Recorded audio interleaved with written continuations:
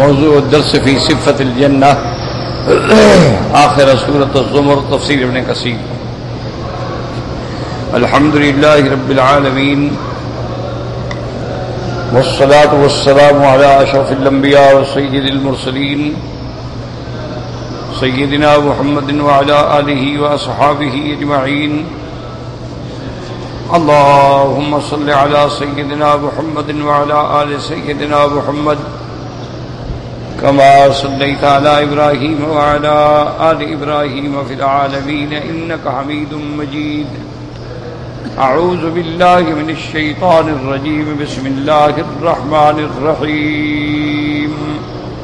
وسيق الذين اتقوا ربهم إلى الجنة زمرا حتى إذا جاءوها وفتحت أبوابها وقال لهم خزنتها سلام عليكم طبتم فادخلوها خالدين. وقالوا الحمد لله الذي صدقنا وعده وأورثنا الأرض نتبوأ من الجنة حيث نشاء. فنعم أجر العاملين. قال المؤلف والمفسر رحمه الله تعالى أدام النفع بعلومه وعلومكم في الدارين، آمين. إلى أن قال وتلقتهم الملائكة على أبواب الجنة، سلام عليكم تبتم فادخلوها خالدين. اللہ تبارک و تعالیٰ کی رحمت سے اہل جنت کو جنت کے دروازوں پہ اللہ کے فرشتے بھی لیں گے اور سلام فرمائیں گے۔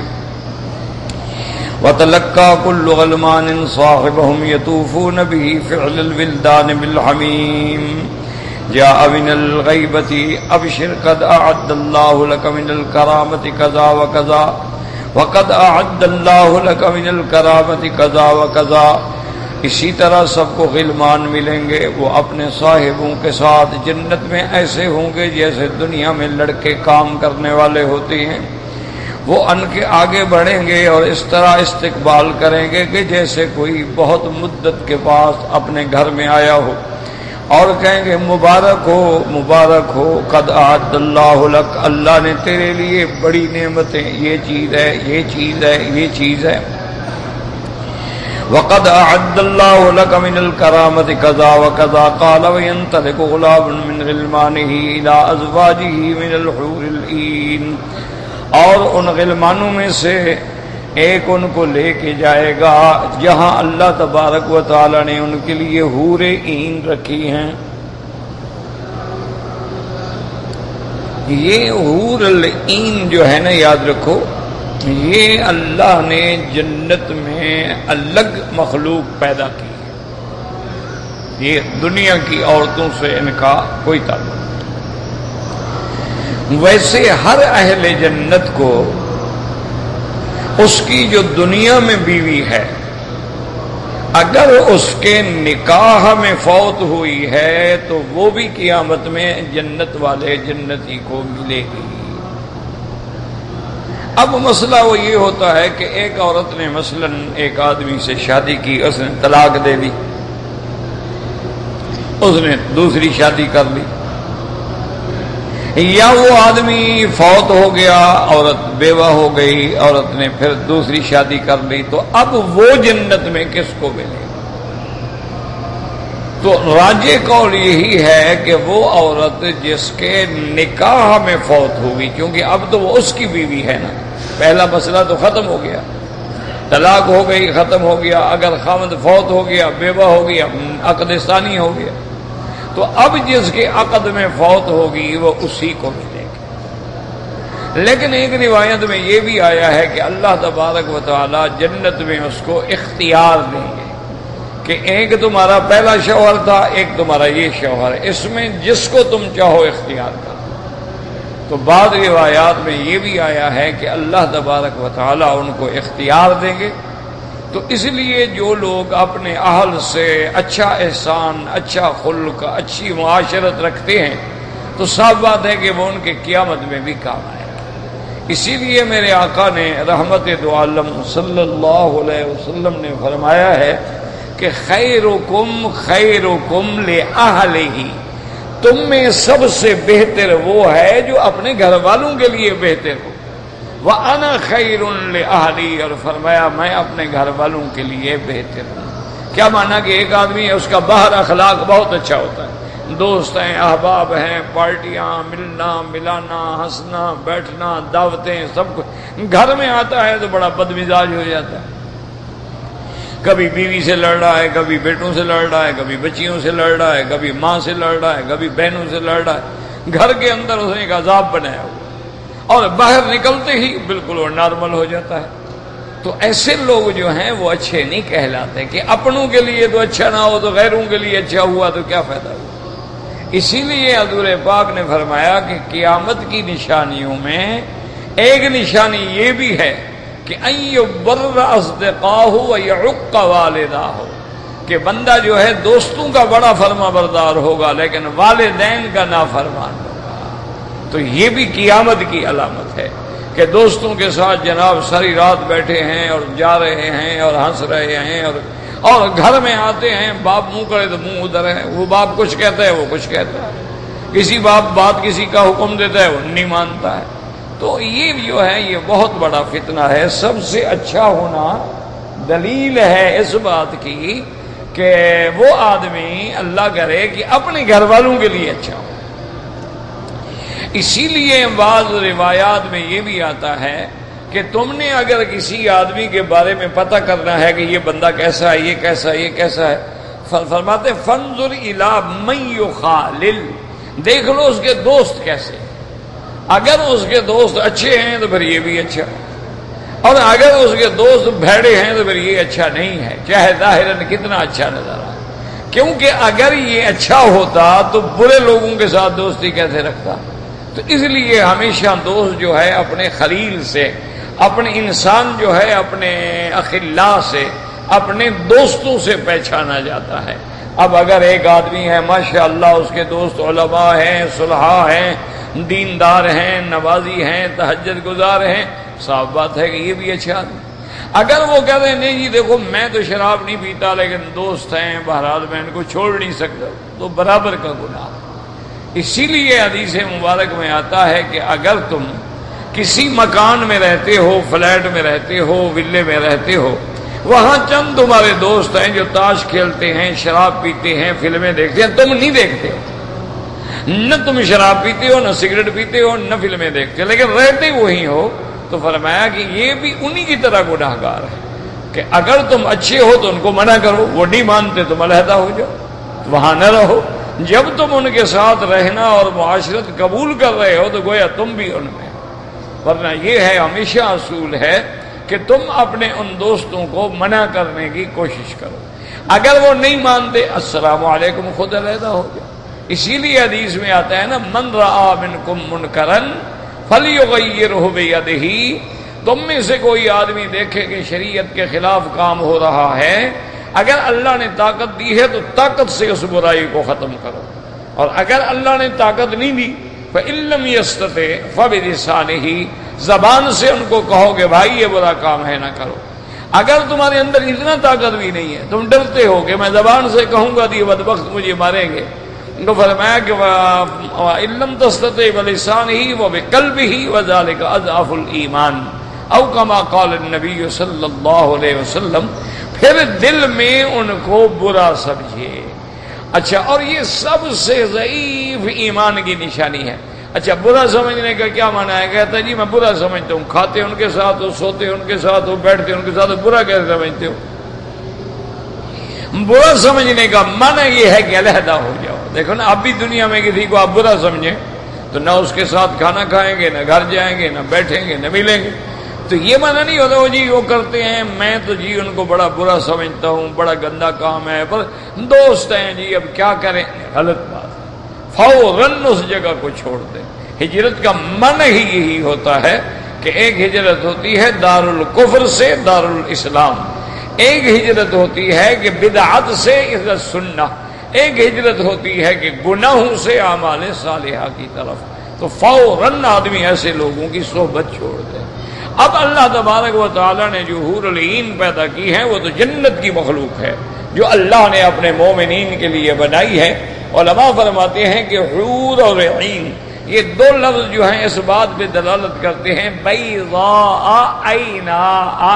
یعنی ایک تو سفید ہوں گی اور ایک ان کی آنکھیں بڑی ہوں گی۔ غزالی آنکھیں ہوں گی اور سفید ہوں گی اور اللہ نے ایسا جمال دیا ہوگا کہ ان کے کپڑوں کے باوجود بھی ان کی پنڈلیوں کے اندر جو ہڈی ہے، ان کے اندر جو گودا ہے، وہ بھی نظر آ رہا ہوگا۔ تو اللہ تبارک و تعالی نے وہ مسلمان کے لیے، اہل جنت کے لیے حور العین جو ہے، وہ بھی جنت میں پیدا فرما دی۔ فیقول هذا فلان باسمه في الدنيا فيقولن انت رايته فيقول نعم فيستخفنه الفرع حتى تخرج الى اسقف الباب قال فيجي فاذا هو بنمارك مصفوفه واكواب موضوعه وضرابي مبسوسه اب وہ کہے گا هذا فلان باسمه في الدنيا ان سے کہے گا یہ فلاں بندہ ہے، اس کا یہ نام تھا۔ فیقولن انت رايته وہ کہیں گے کیا تم جانتے ہو؟ فیقول نعم اس کے بعد کہتے ہیں کہ پھر خوشی ہوگی، اتنا خوشی ہوگی اس کے بعد نکلے گا الاس کو فتل دروازے کے اندر وہی جی ہو پھر اس کے سامنے بے نمارے کا مصفوفت ایسے یعنی بچھونے، بچھے ہوں گے واقوا بن موضوعت اور اور جام رکھے ہوں گے۔ وزرا بھی اب اور اس کے اندر جو نیمتے ہیں، جو برتن ہیں، وہ اتنے پھیلے ہوئے، پورے دسترخوان بھرے ہوئے ہوں گے۔ کال سم ينظر الى تاسيس بنيانه فاذا هو فاذا هو قد اسس على جند اللؤلؤ بين احمر واخضر واصفر وابيض من كل لون. اور پھر وہ دیکھے گا کہ جنت کی جو دیواریں اللہ تبارک و تعالی نے بنائی ہیں، وہ تو موتی ہیں، لال بھی ہیں، سبز بھی ہیں، پیلے بھی ہیں، سفید بھی ہیں، من كل لون. ثم يرفع طرفه الى سقفه، فلولا ان الله تعالى قدره له، لا علم ان يذهب ببصره انه مثل البرق. اس کے بعد جب چھت پہ نظر ڈالے گا کہ چھت کیسی ہے، اگر اللہ نے اس کو طاقت نہ دی ہوتی تو چھت کی چمک جو ہے، اس سے اس کی آنکھیں جو تھی وہ بھی چلی جاتی، اس کی نظر جو ہے وہ بھی ختم ہو جاتی کیونکہ وہ چمک ایسے ہوگی جیسے بجلی کی چمک ہوتی ہے۔ ثم ينظر الى ازواجه من الحور العين ثم يتكئ على اريكه من ارائكه پھر اپنی بیویوں حور العین کو دیکھے گا، ملے گا، اس کے بعد بچھونے پہ ٹیک لگا کے بیٹھے گا اور کہے گا، الحمدللہ الذي هدانا لهذا وما كنا لنهتدي لولا ان هدانا الله یا اللہ، تیرا شکر ہے کہ تو نے ہمیں یہ نعمت اور یہ مقام عطا فرمایا، اگر آپ ہدایت نہ دیتے تو ہم کبھی حاصل نہ کر سکتے۔ ثم قال حدثنا ابي قال حدثنا ابو غسان مالك بن اسماعيل النهدي قال حدثنا مسلمة بن جعفر البجلي قال سمعت ابا معاذ البصري يقول ان علي رضي الله تعالى عنه كان ذات يوم عند رسول الله صلى الله عليه وسلم، فقال النبي صلى الله عليه وسلم الذي نفسي بيده انهم اذا خرجوا من قبورهم يستقبلون او يؤتون بنوك بنوك لها اجنحه وعليها رحال الذهب شراك نعالهم نور يتلألأ كل خطوه حضرت علی رضی اللہ تعالیٰ عنہ سے روایت ہے فرماتی ہیں کہ ایک دن آقا نامدار صلی اللہ علیہ وسلم نے فرمایا، والذی نفسی بیدہی مجھے قسم ہے اس ذات کی جس کے قبضہ ہے قدرت میں میری جان ہے یعنی اللہ۔ انہم اذا خرجوا من قبورہم، کہ مومن جب اپنی قبروں سے نکلیں گے اور ان کے آگے استقبال کے لیے ایسی ایسی اونٹنیاں جنت کی لائی جائیں گی جن کے پر ہوں گے۔ اور ان کے اوپر جو بیٹھنے کے لیے رحال رکھے جائیں گے وہ سونے کے ہوں گے۔ شراکن علیہم اور ان کے بعد ان کے باندھنے کی جو رسیاں ہیں وہ موتیوں سے ہوں گی۔ یتلالا کلو خط یتلالا چمک رہے ہوں۔ کلو خطوت منہا مد البصر۔ اور وہ اونٹنیاں اتنی تیز ہوں گی کہ جہاں نظر پڑے گی وہاں قدم پڑے گا۔ فینتہون الى شجرت شجرت یمبو من اصلها عینان۔ وہ ان کو سوال کر کے لے جائیں گی ایک درخت کے پاس، اس کی ابتدا میں، اس کے نیچے جو ہیں دو چشمے بہ رہے ہوں گے۔ ويسبون من إهداهما وتغسل ما في بطونهم من درس ويقتصرون من الأخرى فلا تشط أبشارهم ولا أشارهم بعدها أبدا۔ ایک چشمے سے وہ پانی پیئیں گے۔ جب پیئیں گے تو اندر کی ساری غلازتیں ختم۔ اور اس کے بعد ایک چشمے سے غسل کریں گے۔ اس غسل کرنے کا نتیجہ یہ ہوگا کہ پھر ان کی جلد پہ کبھی کوئی غبار نہیں آئے گا۔ ان کے بالوں پہ کبھی کسی قسم کی کوئی خشکی نہیں آئے گی۔ نظرت اور ان کے چہروں پہ ایسی رونق آ جائے گی، تر و تازگی آ جائے گی۔ اس کے بعد جائیں گے بھیا تو باب الجنت پھر جنت کے اندر پہنچیں گے۔ جب دروازے پہ جائیں گے فیضا حلقت یاقوت نامرا اور جنت کے دروازے کے جو کنڈے ہیں ہلکے ہیں وہ جو سرخ یاقوت سے بنے ہوئے اللہ صفائی حد سونے کے پترے کے اوپر یاقوت کا کام ہوگا۔ فیدربون بعلا وہ جب اس کو ماریں گے اس صفائے پہ اس, اس سونے کی بنی ہوئی پٹڑی پہ جب اس کو ماریں گے تو آواز پیدا ہوگی جو آواز اونچے جائے گی۔ اکبل اس کی تمام حوروں کو بات یہ پہنچ جائے گی کہ ان کا خامن جو ہے وہ آ رہا ہے۔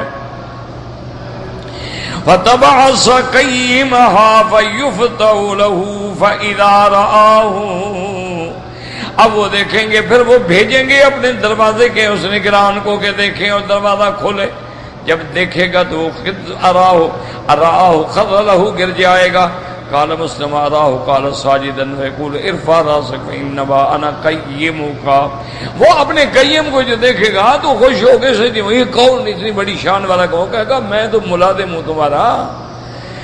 وکل تو امریکہ، میں تو تیرے کام کی ڈیوٹی پہ ہوں۔ ویت باؤ ویکفو اسرہ، اس کے ساتھ ساتھ چلے گا۔ بنستخف لورا الاجدتا فنخرج من خیام الدر والیاقود یتاتا حتی اور اس کی بیویاں جو ہو رہے ہیں، وہ جلدی سے تیار ہو کے نکلیں گی، وہ ایسے خیموں میں ہوں گی جو موتی کے خیمے ہوں گے یا کود کے خیمے ہوں گے۔ کو پھر اس کو سینے سے لگائیں گے۔ سمت کو انت بھی وان ہبو کہ تم میرے محبوب، میں تیری محبوبہ۔ وان الخالدت والذی لا موت۔ اور میں ہمیشہ رہنے والی ہوں، مجھ پہ موت نہیں آئے گی۔ وَأَنَا النَّائِمَةُ الَّتِي لَا أَبَسْ اور میں ہمیشہ نرم دل، نرم خیال رہوں گی، کبھی میرے اندر تنگی نہیں آئے گی۔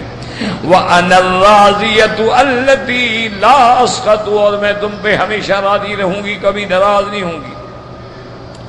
وَأَنَا الْمُقِيمَةُ الَّتِي لَا أَزَنْ اور میں ہمیشہ تیرے ساتھ رہوں گی، کبھی چھوڑ کے نہیں جاؤں گی۔ وَيَدْخُلَ بَيْتَ الفضرا پھر وہ اس کو ایک ایسے کمرے میں لے جائے گی جس کی زمین سے چھت تک کا فاصلہ جو ہے ایک ہزار ہاتھ اونچا ہوگا۔ بنا ہوا جندر موتیوں پہ بنا ہوا۔ ترائے کا سروا احمر، اس کے اندر لائنیں ہوں گی موتیوں کی، کبھی پیلی، کبھی سبز، کبھی سرخ۔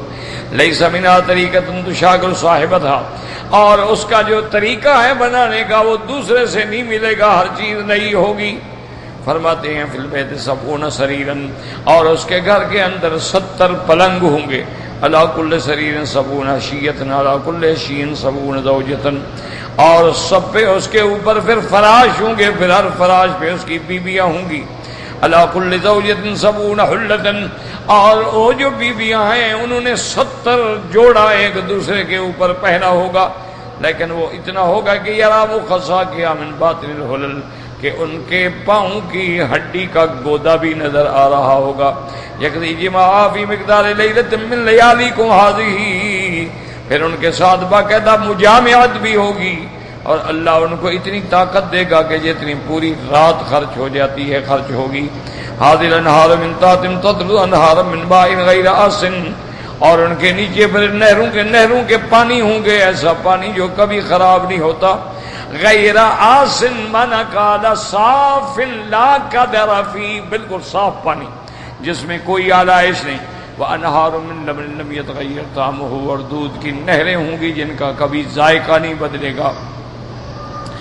کال لم یخرج من ضرو الماشیہ یہ وہ دودھ نہیں ہے جو جانوروں کے تھنوں سے نکلتا ہے، بلکہ اللہ تعالی کی قدرت سے یہ پیدا ہوا ہے۔ وہ من خمر لذت اور نہریں ہوں گی شراب، ایسا شراب جو پینے والوں کے لیے باعث لذت ہو۔ لیکن یاد رکھیں، یہ جنت کا شراب ہوگا شرابن تو ہورا ہوگا، یہ نشے سے پاک ہوگا، یہ حرام ہونے سے پاک ہوگا۔ لا يصدقون عنها ولا ينزفون۔ نہ اس کے پینے سے سر میں دوران ہوگا، نہ درد ہوگا، کیونکہ دنیا کا شراب جو ہے علماء نے لکھا ہے، اس کا فائدہ کیا ہوتا ہے؟ دوران سر ہوتا ہے، سر میں درد ہوتا ہے، چکر۔ اس کے بعد عقل جواب دے جاتی ہے، پیٹ خراب ہو جاتا ہے، منہ سے بدبو آتی ہے، لیکن جنت کی شراب ان ساری چیزوں سے پاک ہوگی۔ اور اس کے بعد فرمتی لم تاثر ہر بھی اقدامہم یہ وہ شراب نہیں ہوگی کہ دنیا کی شرابوں کی طرح لوگ اس کو پاؤں سے رگڑ رگڑ کے نکالیں گے۔ یہ تو وہ شراب ہے جو اللہ کے حکم سے پیدا ہوگی۔ وہ انہار مصفا اور شہد کی بھی نہریں۔ کال لیکن یہ وہ شہد نہیں ہوگی جو کیڑے سے نکلے، جو مکھی سے نکلے۔ بلکہ ستج استعمال انشا قائم انشا قائد انشا متقن اور اس کے بعد اللہ کے نبی پاک نے فرمایا کہ اس کے لیے درخت ہوں گے پھل ہوں گے۔ اب یہ مومن کی مرضی ہے کہ کھڑے ہو کے پھل توڑ لے، بیٹھ جائے، خود پھل نیچے آئے گا۔ اگر چاہے تو لیٹ کے بھی توڑ لے، چاہے تو بیٹھ کے بھی توڑ لے، چاہے تو کھڑے ہو کے توڑ لے۔ کیونکہ اللہ تبارک و تعالیٰ فرمائیں گے، میرے بندے نے دنیا میں محنت کی ہے، مشقت کی ہے، وہاں رزق حاصل کرنے کے لیے بھی درختوں پہ چڑھنا پڑتا تھا اور جا کے کاٹنے پڑتے تھے۔ آج ہر چیز میرے بندے کے تابع ہے، اشارہ کرے تو ہر چیز حاضر ہو جائے گی۔ فرمایا ودانیتن علیہم ظلالها وذللت تذلیلا اور اللہ تبارک و تعالیٰ کے حکم سے وہ درخت جو ہیں اس کے اوپر جھکے ہوں گے۔ جیسے اشارہ کرے گا ویسے تعمیل ہوگی۔ فیشت تو آب آتی اب اس کو خواہش ہوگی کھانے کی۔ لیکن یاد رکھو، یہ کھانا جنت میں تلزز کے لیے ہوگا، بھوک نہیں ہوگی۔ کیونکہ جنت کی یہ صفت ہے، اللہ تجو فیہا ولا تارا جنت میں نہ بھوک ہوگی، نہ جنت میں کوئی یوریا نہیں ہوگی۔ لیکن جنت میں جو مومن کھائیں گے، وہ لذت کے لیے کھائیں گے۔ خواہش ہوگی، بھوک نہیں ہوگی، لذت کے لیے۔ اور کھانے کے بعد یاد رکھیں، نہ تو کوئی پیشاب، نہ براد، نہ بری، ہر بری چیز سے پاک۔ بس ایک ایسا پسینہ آئے گا کہ سب چیز ہضم ہو جائے گی۔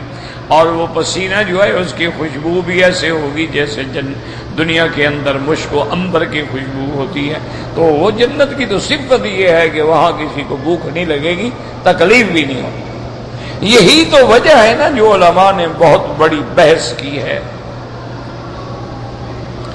کہ حضور باغ نے فرمایا ہے، رحم صلی اللہ علیہ وسلم نے کہ ما بین بیتی و منبری روزت من ریاض الجنہ حضور نے فرمایا، میرے گھر سے میرے منبر تک کا جو ٹکڑا ہے مدینہ پاک میں، یہ روزت یہ باغ ہے جنت کے باغوں میں سے یعنی جنت کا ٹکڑا ہے۔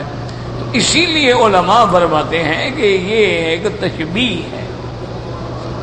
جیسے آدمی کہہ دیتا یار ماشاء اللہ دیکھا نہیں کیسا گلاب کی طرح چہرہ ہے۔ دیکھا نہیں یار، بڑا گلاب کی طرح، پھول کی طرح رنگ ہے۔ تو وہ کہتے ہیں، یہ بھی ایک تشبیح ہے، یہ حقیقی جنت نہیں۔ اس پہ انہوں نے ایک حدیث سے بھی استدلال کیا ہے کہ حضور صلی اللہ علیہ وسلم نے اپنے صحابہ سے فرمایا، اذا مررتم بریاض الجنت فرتعو کہ جب تم جنت کے باغوں سے گزرو تو کچھ چل لیا کرو۔ صحابہ نے پوچھا ہماری آج الجنت یا رسول اللہ؟ انہوں نے پوچھا، سرکار صلی اللہ علیہ وسلم، وہ جنت کے باغ کہاں ہیں؟ فرمایا، ہلا کچھ ذکر ہے، یہاں اللہ کا ذکر ہو رہا ہے، یہ جنت کے باغ تو ہے یہی جنت کے باغ ہیں، قرآن ہے، حدیث ہے، اللہ کا ذکر ہے۔ یہی جنت کے باغ ہیں۔ جب بیٹھو گے تم بھی شریک ہو جاؤ گے۔ تمہیں تو گویا کہ تم نے بھی جنت کے باغوں سے فائدہ اٹھا لیا۔ تو اس لیے علماء فرماتے ہیں کہ جیسے یہ ایک ذکر کا حلقہ ہے، قرآن کا حلقہ ہے، تفسیر کا حلقہ ہے، درس کا، تو یہ جنت کے باغ ہے وہ بھی گویا اسی طرح جنت۔ اور بعض علماء یہ فرماتے ہیں کہ جنت کے ٹکڑے کا منع یہ ہے کہ جو بندہ خالص ایمان کے ساتھ حضور کی مسجد میں آئے گا، ریاض الجنہ میں بیٹھے گا، نفل پڑھے گا، دعائیں مانگے گا، اللہ اس کو جنت نصیب کرے۔ بعض علماء نے یہ کہا۔ اس کی وجہ کیا ہے؟ وہ وہی وجہ ہے جو میں نے عرض کی نا، وہ کہتے ہیں کہ جنت میں تو آدمی کو بھوک نہیں لگے گی ہاں تو بھوک لگتی ہے۔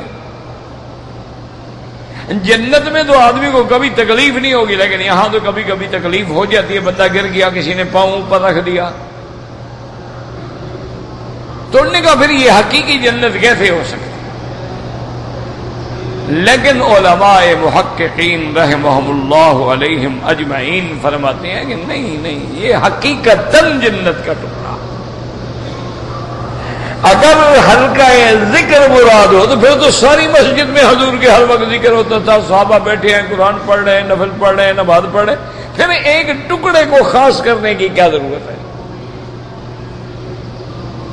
یعنی یہاں تو حضور باقاعدہ حد بندی فرما رہے ہیں، نشان لگا رہے ہیں، ماں بہنا بیتی میرے گھر سے ممبر تک۔ یہ تو نہیں فرمایا نا کہ ساری مسجد، ورنہ ذکر اور نماز اور تو ساری مسجد میں۔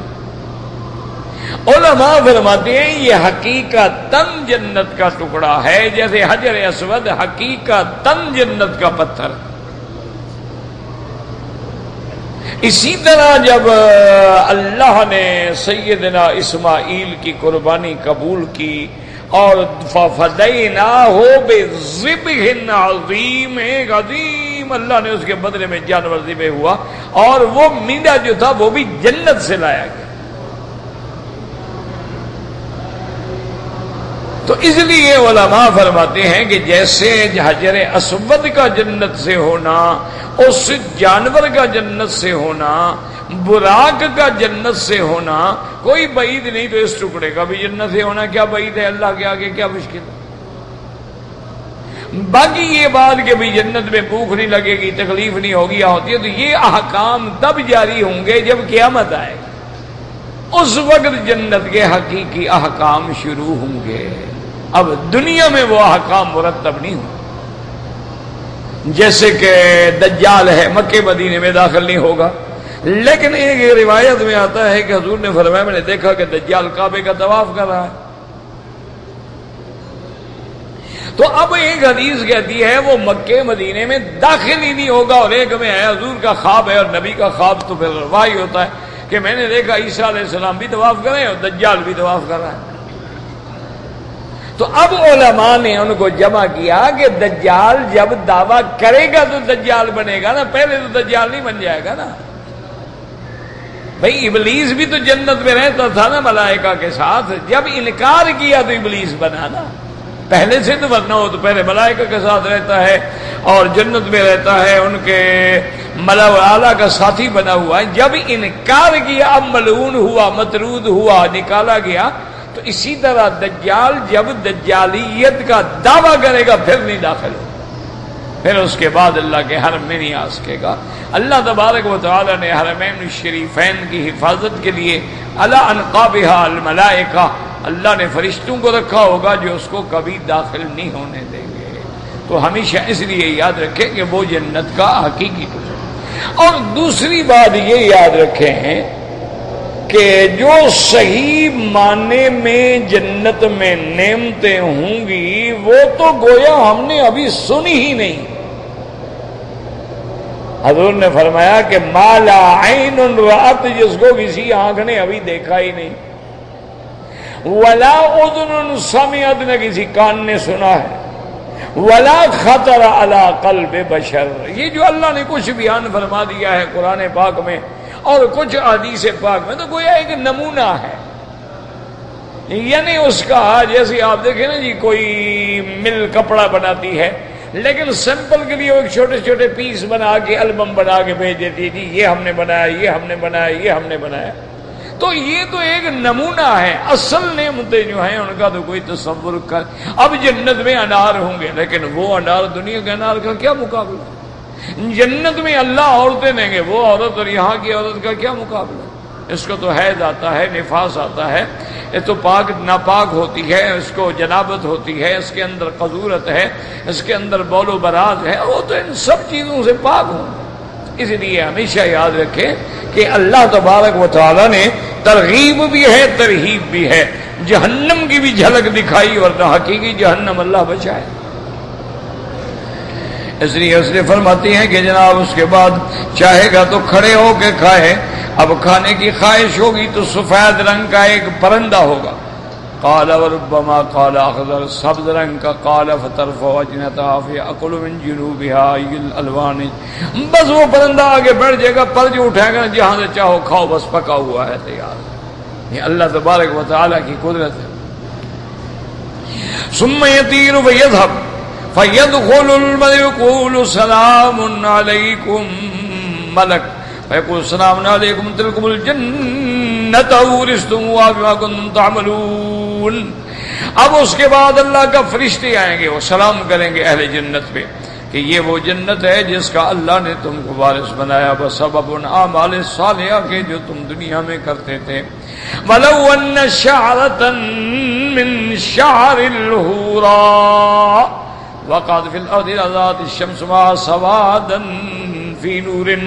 آزادی سن غریب وسلم اور کہتے ہیں کہ اگر اس حور کا ایک بال بھی دنیا میں پڑے تو ایسے روشن ہو جیسے سورج ہوتا ہے اور سورج اس کے سامنے سیاہ پڑ جائے. لیکن یہ روایت جو ہے اس میں غرابت ہے. وَتَرَ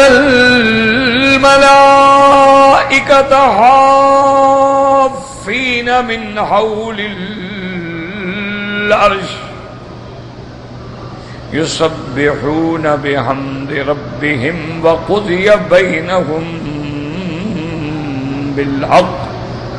وقيل الحمد لله رب العالمين. ابھی فرمایا اللہ تبارک و تعالی نے وَتَرَا یا تو خطاب حضور پاک کو یہ خطاب ہوتا ہے عام پڑھنے والا سامع جب دیکھے گا وہ ترل ملا ملائکا حافین حافین منا ہرش کے چاروں طرف ہلکا بنائے کھڑے ہیں۔ جو سب بے بحمد ربہم اللہ کی تصویر بیان کرتے ہیں۔ حمد بیان کرتے ہیں، ثنا بیان کرتے ہیں۔ وقضی بینہم بالحق، اور مخلوق کے درمیان عدل سے فیصلہ ہو جائے گا۔ وقیل الحمد للہ رب العالمین پھر تمام کون جو وہاں ہے، وہ سب اللہ کا شکر ادا کریں گے۔ کہ اللہ تیرا شکر ہے، تو ہی رب العالمین ہے کہ آج حق والوں کو حق مل گیا، انصاف ہو گیا۔ اہل جنت جنت میں چلے گئے اور ظالم اور شداد، ابو جہل، نمرود، ظلم کرنے والے کافر جو ہیں، وہ جہنم کی سزا پا گئے۔ یاد رکھیں کہ جیسے سات آسمان ہیں، اسی طرح کرسی ہے۔ جس کا ذکر بھی قرآن میں موجود ہے۔ وسیع کرسی السماوات والارض اچھا کرسی اتنی بڑی ہے کہ حضور باغ نے فرمایا کہ سات آسمان اور زمینیں بچھا دو۔ کہ حلقت ملقات فی فلاط من الارض حضور نے فرمایا کہ جیسے ایک لوہے کا کڑا کسی میدان میں ڈال دو تو دیکھو کتنی جگہ روکے گا۔ ایک کڑا کیا روکے گا؟ تو یہ سارے آزمان اس کے سامنے ایک کڑے کے برابر بھی نہیں۔ پھر اللہ کا عرش ہے۔ اور عرش جو ہے وہ پھر کرسی سے اتنا بڑا ہے کہ حلقات ملاقات فی فلاط من الارض۔ اور اللہ کے عرش کو اٹھانے والے اللہ کے فرشتے ہیں جو اس کے حکم سے۔ اسی طرح ملائکہ حول العرش ہیں جن کے ذمے یہ ہے کہ وہ تسبیح پڑھ رہے ہیں۔ اللہ کی تحمید، اللہ کی تصویر تمجید، حمد، ثنا، اور اللہ تبارک و تعالیٰ کی رحمت سے مومنوں کے لیے استغفار کرتے ہیں، بخشش مانگتے ہیں۔ یا اللہ مومنوں پہ رحم فرما، ان کے گناہ معاف فرما دے۔ تو اللہ کے ملائکہ بھی ہم، اور پھر اللہ تبارک و تعالیٰ قیامت والے دن آپ کو کما علی کو بے شان ہی نزول اجلال فرمائیں گے۔ وہ اشرت بدور رب الکتاب زمین اللہ کے نور سے روشن ہو جائے گی، کتاب رکھ دی جائے گی، انبیاء آ جائیں گے، گواہ آ جائیں گے، اب فیصلہ ہوگا۔ وہ قدی اب اور اللہ تبارک و تعالی عدل و انصاف سے سب کے درمیان میں فیصلہ فرما دیں گے۔ جب سب طے ہو گیا تو گویا پوری کون، پوری مخلوق، پورے ملائکہ، پورے انسان اللہ کا شکر بیان کریں گے الحمد رب العالمین۔ اس لیے مفسر رحمت اللہ علیہ فرماتے ہیں، لما ذکر تعالی حکم فی اہل جنت والنار۔ اللہ تبارک و تعالی نے اہل جنت کا بھی ذکر فرمایا، اہل نار کا بھی ذکر فرمایا۔ وانه نظر كلا في المحل الذي يليق به ويصلح له۔ اللہ نے اہل جنت کو جنت میں بھیجا، وہ اسی کے لائق تھے اور اہل نار کو جہنم میں بھیجا، وہ اسی کے لائق تھے۔ اللہ کا عدل ہے۔ جس کو جنت دیں گے تو فضل ہے اور جس کو جہنم میں بھیجیں گے عدل ہے۔ اللہ جو ظلم کبھی نہیں کرتا۔ اللہ تبارک و تعالی ظلم سے پاک ہے۔ وما ربك بالله للعبيد اور فرماتے ان اللہ لا یظلم مثقال ذرہ اللہ ذرے کے برابر بھی بندے پہ ظلم نہیں کرے اخبران ملائکتی اللہ خبر دیتی ہیں کہ اللہ کے فرشتے انہم محدقون من حول العرش المجید۔ عرش کے چاروں طرف گھیرے ڈال کے فرشتے کھڑے ہوں گے۔ یسبحون بحمد ربہم۔ اللہ کی تصویر بیان کریں گے کہ مولا آپ ہر صفت نقصان سے پاک ہیں۔ وہی مسجدون اللہ کی تعظیم یزمون قدسون اس کی پاکی بیان کریں گے۔ والجور، اور پاکی بیان کریں گے۔ اللہ آپ ہر نقصان سے پاک ہیں، ہر صفت نقصان سے پاک ہیں۔ اللہ آپ ظلم سے پاک ہیں۔ آپ کا ہر فیصلہ یا فضل ہے یا عدل ہے۔ فقد فصل القضیت وقضی الامر وحکم بالعدل. اللہ تبارک و تعالی نے عدل کے ساتھ فیصلہ فرما دیا. فلہذا قال عز وجل پھر اللہ فرماتے ہیں وقضی بینہم بالحق. قضی بینہم یعنی بین الخلائق، حق کے ساتھ. وقل الحمد للہ رب العالمین. نتکا نتکل کون اجمعہو ناتکہو وہ وبہیمہ ہر چیز بول پڑے گی۔ للہ رب العالمین بالحمد فی حکمہ وعدلہ اللہ تعالیٰ کا شکر ہے اس کے حکم اور اس کے انصاف۔ ولهذا لم يصدق الا قائل متقود جميع المخلوقات شاهدت له بالحمد۔ اللہ تبارک و تعالی نے یہ نہیں فرمایا کہ کون حمد بیان کریں گے۔ نتیجہ یہ نکلا کہ تمام مخلوق جو ہے وہ اللہ کا حمد بیان کرے گی۔ قال قتادہ افتتح الخلق بالحمد في قول الحمد لله الذي خلق السماوات والارض حضرت قتادہ فرماتی ہیں کہ اللہ کی مخلوق حمد سے ابتدا، حمد پہ انتہا۔ ابتدا کیا تھی؟ الحمد للہ خلق السماوات والارض وختتم بالحمد۔ اور اللہ نے سورت کا اختتام جو ہے وہ بھی حمد پہ فرمایا۔ وقضی بینہم بالحق وقيل الحمد للہ رب العالمین الحمد اللہ نے ہمیں سورت الزمر نصیب فرمائی اور یلیہ سورت غافر، انشاءاللہ اس کے بعد صورت غافر کی تلاوت ہوگی، واللہ عالم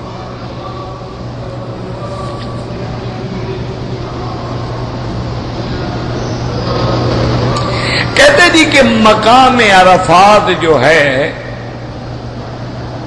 اس کو عرفات کیوں کہا جاتا ہے؟ اس کے بارے میں علماء نے کتابوں میں لکھا ہے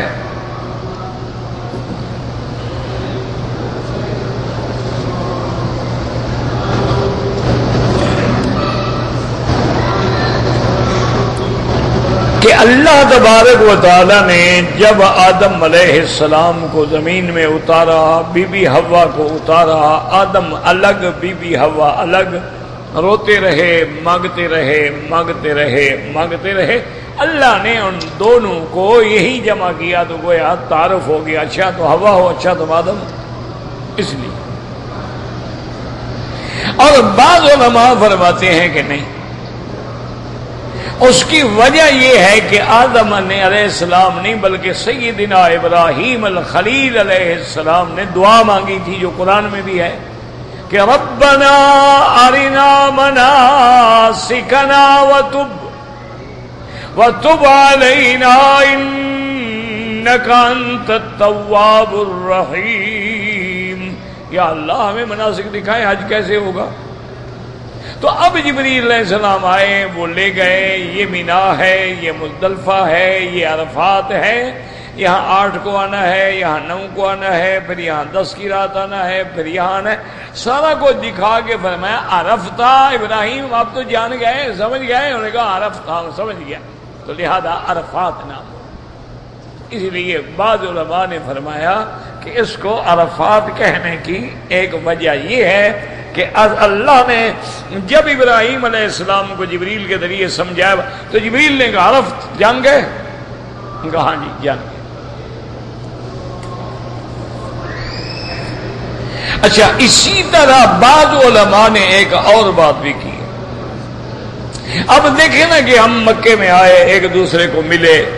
وہ کہتے ہیں کہ اللہ نے حج جو ہے یہ سارے بندوں کے درمیان میں ایک تعارف کا ذریعہ بنایا ہے نا کہ ہم عرفات میں کھڑے ہیں، ایک ہی احرام ہے، ایک ہی مقصد ہے، ایک ہی ترانہ ہے، سب بیگ پڑھ رہے ہیں، کوئی کالا ہے، کوئی گورا ہے، کوئی لمبا ہے، کوئی چھوٹا ہے، سب کو اللہ نے ملا دیا، گویا سب کے لیے مقام تعارف تو بعض علماء نے اس کو یہ بھی فرق لیکن معلوم یہ ہوتا ہے کہ یہ ساری باتیں ٹھیک ہیں۔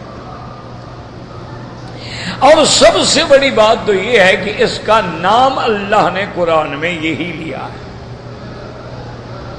سب سے بڑی بات جو ہے نا جی ایک تو ہوتا نا چلو بندہ کہے، انسان کہے، اللہ نے لا جناح علیکم ان تبتغوا فضلا من ربکم فاذا افضتم من عرفات۔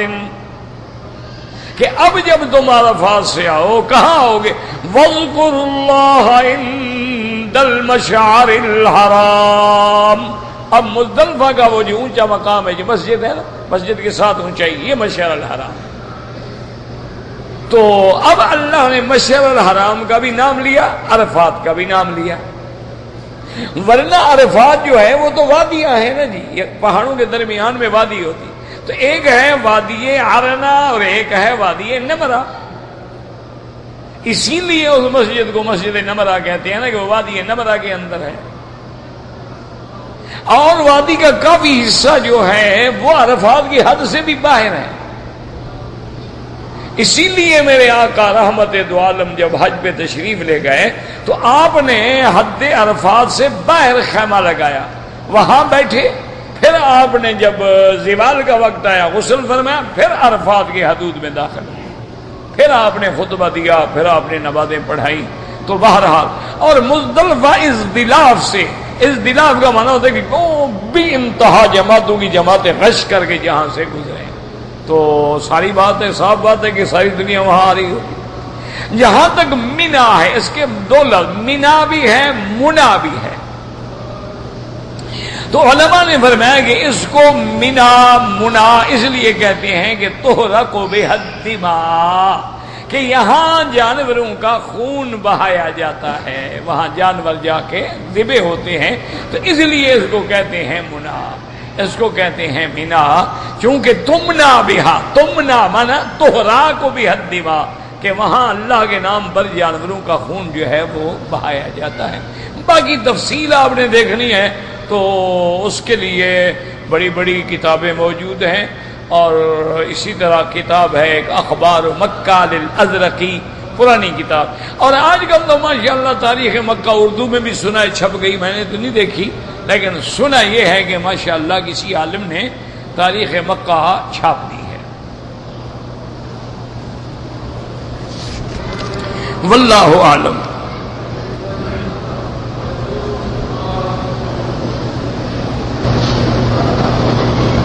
کہتے ہیں جی کہ ایک آدمی کا نکاح ہو گیا ہے، مہر بھی اس نے ادا کر دی ہے۔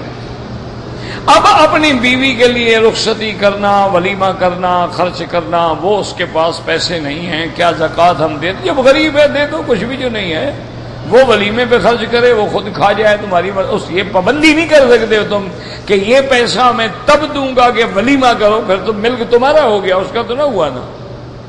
زکات کا من یہ ہوتا ہے کہ میں نے پیسے اپنے ملک سے نکال کے تملیغ کر دی کہ جی یہ تمہارے ہیں۔ اب اس کی مرضی وہ ولیمے پہ خرچ کرے، وہ بیوی کو دے دے، وہ خود کھا جائے، اس کی مرضی ہے۔ اور اگر پیسے نہ ہوں تو ولیمہ کرنا کوئی ضروری تو نہیں ہوتا۔ سنت ہے بس۔ اور کون سی تم نے سنتیں رکھی ہوئی ہیں؟ سارا دن داڑھی منڈواتی ہو ولیمے کا بڑا فکر ہے۔ سارا دن جناب سنت نواز پڑھتا نہیں ہے، عقیقے کا بڑا فکر ہے جی بچہ پیدا ہوا تھا، میرا عقیقہ نہیں کیا تھا۔ اللہ کے بندے ان سنتوں کا فکر ہے جو اصل سنت ہے، ان کو تم نے چھوڑا ہوا ہے۔ اگر اللہ توفیق دے تو ایک بکری ذبح کر کے چند دوستوں کو بلا کے کھلا دو، بس ولیمہ ہو گیا۔ اور میرے آقا نے تو ولیمہ پتا ہے، امت کو سبق دینے کے لیے، ورنہ اللہ دعا مانگتے تو کھانے جنت سے آ جاتے۔ ہمارا ایمان ہے کہ اگر حضور دعا مانگتے ہیں کہ یا اللہ میری شادی کا کھانا جنت سے بھجوائے۔ کیا مشکل تھی؟ لیکن حضور نے اپنی امت کو سبق دیا۔ ایک دن صحابہ سے کہا کہ بھی کل ظہر کے بعد تمام صحابہ جن کے گھر میں جو پکا ہو لے آؤ، مسجد میں کٹھے بیٹھ کے کھائیں گے۔ تمام صحابہ کسی کے گھر میں کھجور ہے، کہیں زیتون ہے، کہیں کوئی چیز ہے، چھوٹی موٹی، ساری ستو وتو کٹھے ہو گئے۔ پھر یہ میری شادی کا کھانا ہے، کھا لو، کٹھے بیٹھ۔ شادی ہو گئی۔ یعنی آپ یقین کریں، میں اللہ کے حرم میں بیٹھا ہوں، اللہ کے کعبے میں یہ نہیں میں میری تو اس میں کوئی نیکی نہیں، نیکی تو والدین کی ہے۔ میری جس دن شادی ہوئی ہے، مجھے پتہ ہی نہیں ہے۔ یعنی مجھے پتہ نہیں، میری ایک بہن ہے، ایک بھائی، ایک یعنی میں اپنے والدین کا ایک ہوں۔ اور کوئی بھائی نہیں، اللہ کی شان ہے۔ اچھا اللہ نے ویسے گیارہ بھائی دیے تھے، لیکن فوت ہو گئے۔ تو شادی کیا تھی جناب؟ والد صاحب رحمت اللہ علیہ نے ظہر کی نماز کے بعد اعلان کیا کہ بھائی، جتنے جماعتی ہیں نا مسجد والے، اپنے گھر سے سارے کھانا لے آؤ۔ عشاء کے بعد کھانا کھایا، خود بیٹھ کے نکاح پڑا اور کہا بھی آپ کی بیوی آپ کے کمرے میں پہنچ گئی ہے، تمہارا نکاح ہو گیا، رخصتی بھی ہوگی۔ السلام علیکم۔ اچھا میرے پاس کپڑے بھی نہیں، مگر میں نے کپڑے تک نہیں بدلے ہوئے، مجھے پتہ ہی نہیں تو کپڑے کیسے بدل لیتا بھائی۔ اچھا وہاں کہاں سے کپڑے بنا کے جناب میں اس وقت لے آتا؟ کون سا دردی میں کھڑا کرتا جو مجھے دو گھنٹے میں کپڑے بنا دے؟ یقین کریں میں نے ایک طالب سے لنگی مانگی، کسی سے کمیز مانگا، کسی سے رومال مانگا، اپنے طالب دوستوں سے کہ یار میں کوئی شادی کو نئے کپڑے تو پہن لوں۔ جس کے پاس جو تھا وہ لے آیا، میں نے پہن لیا، شادی ہو گئی۔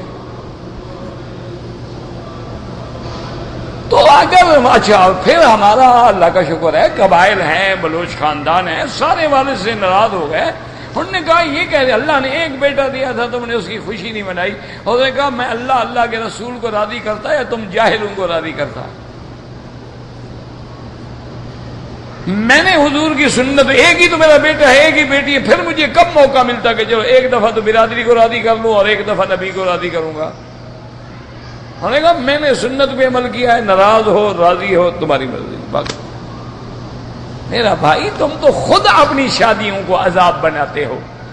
آج کل تو بڑی مصیبت ہے نا جی۔ جہیز کے لیے لکھا جاتا ہے کہ تم یہ جہیز لڑکی لے آئے گی، تب نکاح ہوگا۔ اس سے بڑا دنیا میں ملعون کوئی نہیں جو اپنی عورت کی کمائی کھائے، اس سے کہے جہیز لاؤ۔ تو یہ کس کی کمائی ہے؟ یعنی اگر وہ چکلے میں بیٹھ کے کمائے تو وہ کمائی حرام ہے۔ یہ جو تم جہیز کے ذریعے مانگ کے لے آ رہی یہ کس کی کمائی ہے؟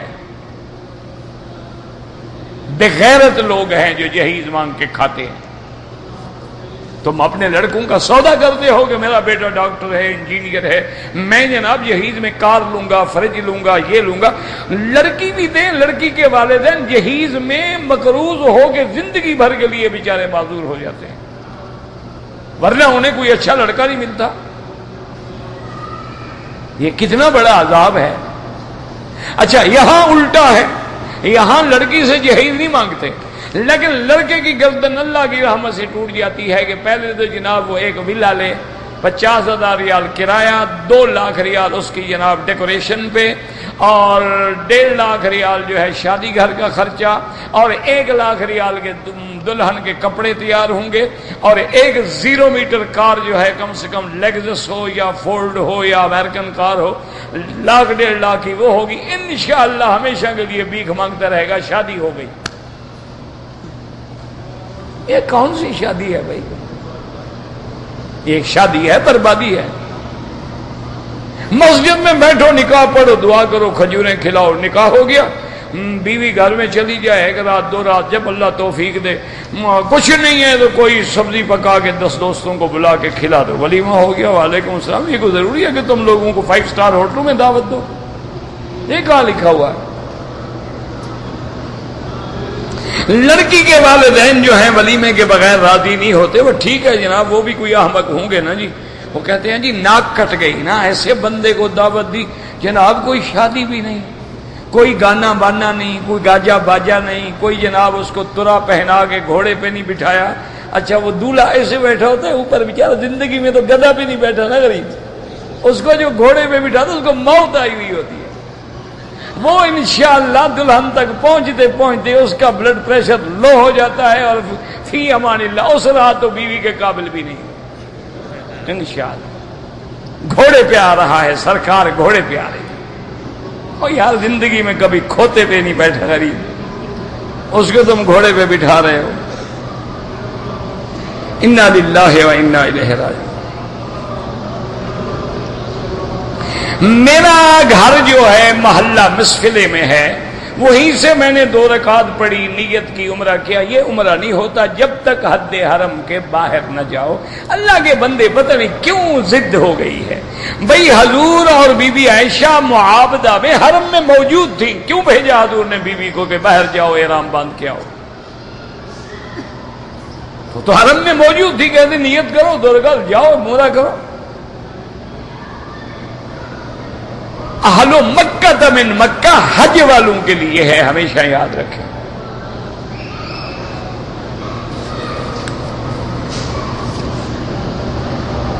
جادو کا علاج کیا ہے؟ سورت البقرہ جو قرآن میں ہے، یہ علاج ہے۔ پڑھیں بھی، دم بھی کریں اور وہ جس پر اثر ہو، وہ کانوں کو لگا کے سنے بھی۔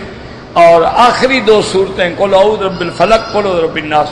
گیارہ گیارہ دفعہ پڑھ کے صبح و شام دم کر کے پلاؤ بھی، اس کے اوپر ڈالو بھی، انشاءاللہ ٹھیک ہو جائے گا۔ حضور کی کمیز مبارک یہ تو نہیں تھی جیسے توپ ہوتی ہے، لیکن لمبی ہوتی تھی اور دونوں طرف سے اس کے چاک بھی ہوتے تھے اور یہاں بٹن بھی ہوتے تھے۔ بٹن سے مراد ہے، وہ کپڑے کے بنے ہوئے تھے، یہ بٹن تو وہاں پیدا ہی نہیں ہوئے تھے۔ نا حضور پاک کے واقعہ سیرت کی کتابیں لاکھوں ہیں، کوئی لے لو۔ والدین کے لیے عمرہ کرتا ہوں، بالکل کریں۔ سفر میں جائیں تو بیوی سے اجازت لینا ضروری ہے، بالکل ضروری ہے۔ وہ کس کے پاس چھوڑو گے اس کو؟ اس کا انتظام کرو، اجازت لو اتنے دن کے لیے میں باہر جا رہا ہوں۔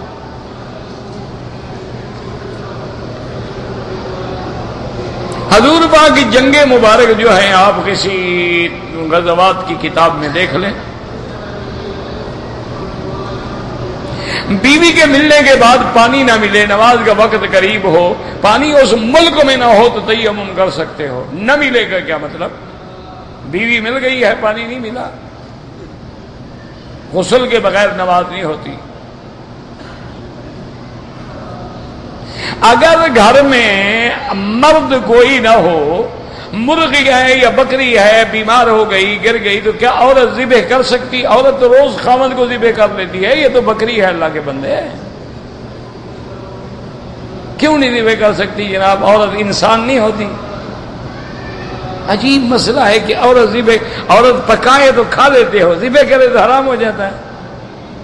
پتہ نہیں کیا لوگوں نے مسئلے گھڑے ہوئے ہیں، اللہ ان کو ہدایت دے۔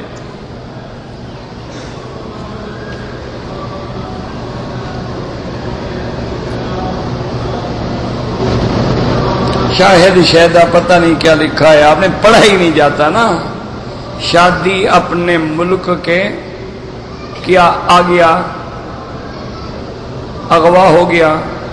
اغوا کر اللہ آپ پر رحم کرے، مجھے تو پڑھا نہیں جاتا بھائی۔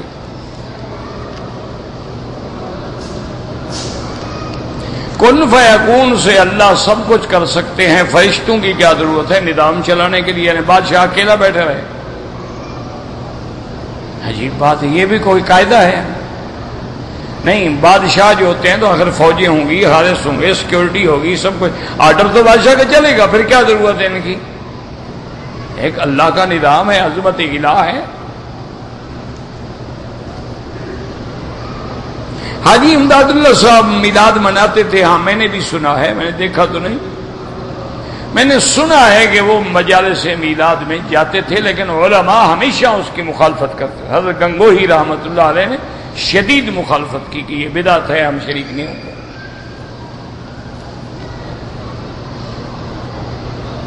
میرے پاس ساڑھے سات تولے سونا ہے زکات شروع ہو گئی۔ قیمت کرو اور زکات ادا کرو، ڈھائی پرسینٹ پیر کے لیے تعظیمی سیدھا جائز ہے، نہ کسی کے لیے نہ پیر کے لیے، نہ فقیر کے لیے، نہ کسی کلندر کے لیے، نہ مردے کے لیے، نہ زندے کے لیے۔ سجدہ صرف اللہ کے لیے۔ نماز اطمینان سے پڑھے خاص اون جو لوگ ایک گھنٹے میں سو سو رکاتیں پڑھ لیتے اللہ ہدایت دے، اس سے بہتر ہے کہ گھنٹے میں چار رکاتیں پڑھو۔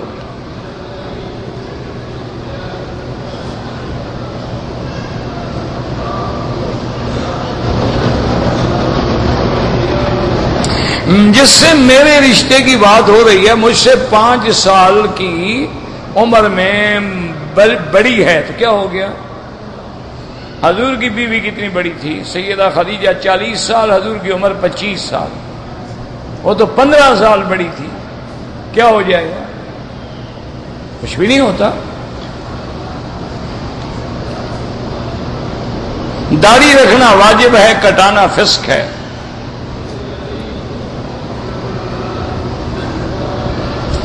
حج مفرد ہو یا کوئی ہو، مکے والا ہو یا باہر ہو، طواف ریاضت احناف کے نزدیک بارہ دل حج کی مغرب تک بعد میں ہو سکتا ہے، لیکن دم پڑ جائے گا اور باقی اما فرماتے ہیں کہ تیرہ کو بھی ہو سکتا ہے، بعض اما کے نزدیک پورا ذیل حج کا مہینہ بھی ہو سکتا ہے۔